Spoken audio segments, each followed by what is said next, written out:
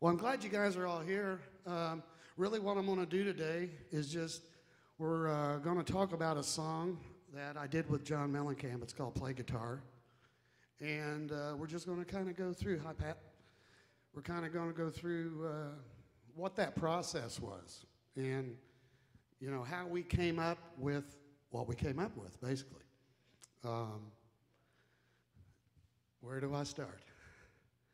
But uh, anyway, we're, this is not so much a guitar lesson, more like I'm going to be talking about um, the process of recording guitars and how they fit in with songwriting. And uh, that's, that's really kind of where my expertise is, because that's what I've always done. Little tiny space, and I'll do it again. Right there. That's a breath. I call that a breath. And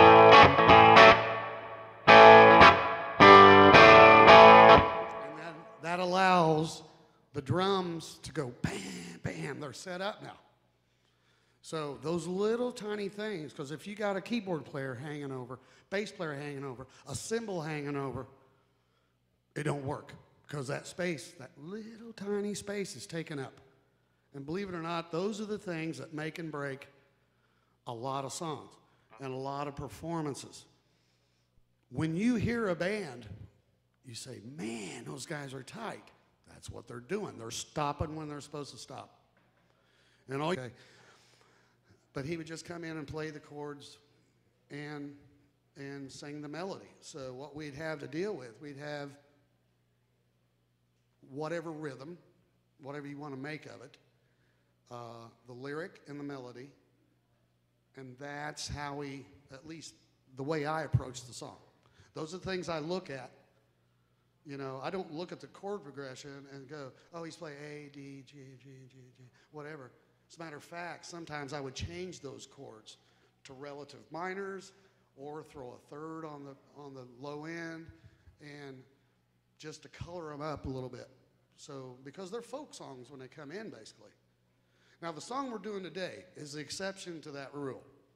Uh, a friend of ours, uh, Dan Ross, had this song that he had started, and we sort of finished for him. And we love the idea. It was called Play Guitar, and it's just a goofy look at kind of tongue in cheek. Uh, if you want to get the girls, you got to play guitar. And so, with that in mind, it's not like a real serious song. Not to mention, it's the same chords over and over and over again. So, you know, what do you do with that? Well, I'm going to explain that today, how the thought process. So, I started playing some high school bands um, and just kind of went from there.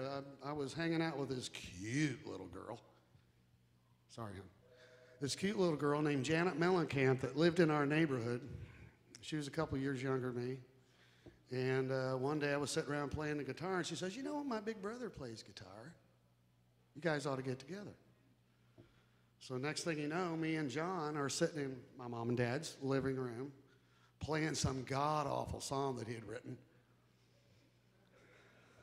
The good thing is, the good thing is, I used to go nowhere, nowhere without my little tape. Remember little tape recorder?